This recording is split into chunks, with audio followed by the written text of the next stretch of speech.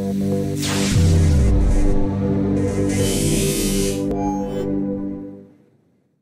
what's up? I'm here with Rick from Maker Gear. How you doing, man? Good. How about yourself? Doing great. So what are you guys showing here at PAX? Well, we're showing 3D printers. So what's the feedback been, and how does this machine work? Well, the feedback's been great. We've had a great crowd. It's been a great show.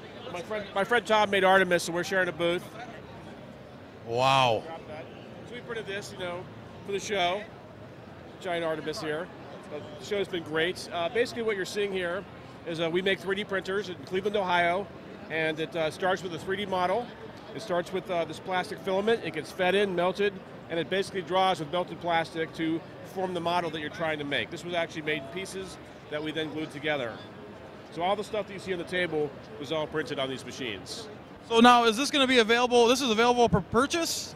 Yeah, we, uh, we manufacture these and we sell them all over. The, uh, for purchase through our website, we sell them all over the world.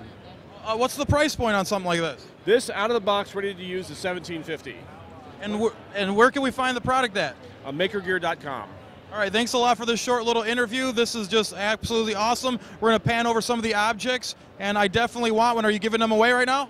Uh, no, we're, we, yeah, we sell machines, but we're showing objects and you know printing and having fun. Thanks a lot, man. That's awesome. Thank you.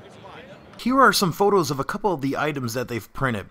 Question for you If you had the Maker Gear 3D printer, which video game item would you print? Leave your answer in the comments section below the video here on YouTube.